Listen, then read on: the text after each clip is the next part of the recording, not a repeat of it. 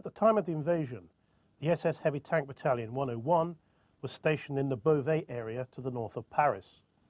Although ordered to Normandy on the 7th, the battalion only arrived to take up position in the vicinity of Villers-Bocage on the 12th.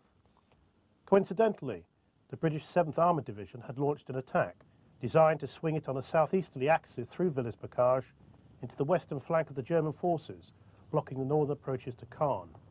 Early on the morning of the 13th, a column of the leading elements of the British division had entered the village. They had been observed by Obersturmführer Michael Wittmann, commander of the 2nd Company of the SS Tiger Battalion, who now moved out to engage the column in his vehicle.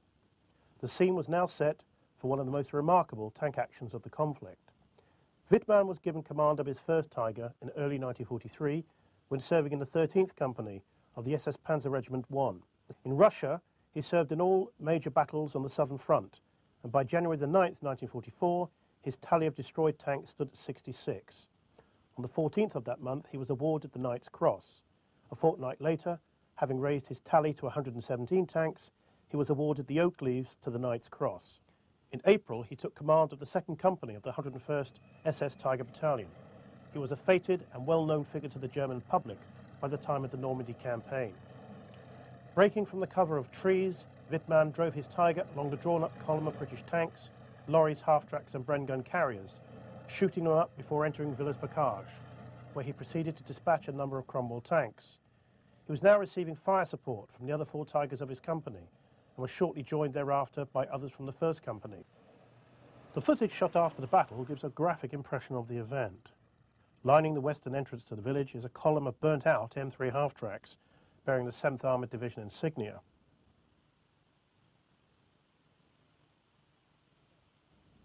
A little further on, the Stuart light tank is caught lying astride the main road into the village. Knocked out Cromwells are seen in the main street, victims of Wittmann's Tiger. Further along the main street is a Panzer IV lying alongside a Tiger, both destroyed by British infantry. Wittmann's own Tiger is seen here, abandoned by its crew when its track was shot off. In reward, Wittmann was promoted and awarded oak leaves with swords to the Knight's Cross.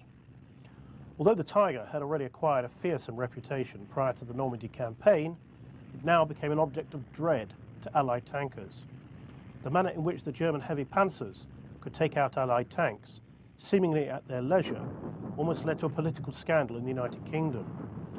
The most numerous Allied tank was the American-built Sherman, which in its most common form was equipped with a short-barreled 75mm gun and had a maximum armour thickness of 50mm. A Tiger could penetrate the turret armour of an M4A2 Sherman at 1800 metres, whereas the Sherman could not even reciprocate at virtually point-blank range.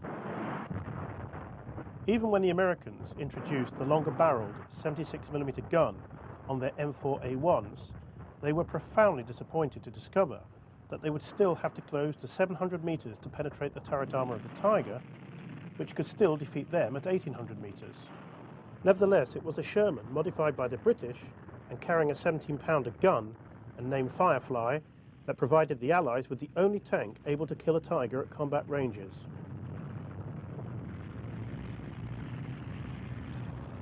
Nor did other Allied tanks fare any better. Even the Churchills Mark 7 and 8, which had frontal armour of 152mm, could not withstand the power of the Tiger's 88mm gun. The new Cromwell was as badly off as the Sherman. German newsreels of the fighting in Normandy are replete in their coverage of destroyed Allied armour. Shermans, Cromwells, carriers and other machines are paraded by the propaganda company in mute testimony to the purported superiority of German arms. However, the cameraman has caught two destroyed Sherman Fireflies. Issued on the basis of one per troop of four Shermans, they were quite naturally the main target of any Tiger commander. Allied tank losses, though high, could always be made good from their vast reserves, whereas every Tiger lost in Normandy could not be replaced. And lost they were, if not always to Allied tanks, then to other means which included the overwhelming firepower directed onto German positions from heavy naval guns on vessels lying off the coast. Allied warships logged shells up to 16-inch caliber many miles inland, One German officer recalled how heavy guns from the battleships were devastating. When one of these shells dropped near a Tiger, the 56-ton tank was blown over on its side just from the blast. If the Germans had no answer to such firepower, they were also as impotent to protect themselves against the overwhelming Allied air superiority